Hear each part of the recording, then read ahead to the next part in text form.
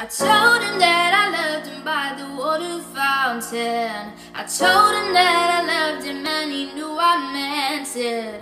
And he said it was love cause it was innocent.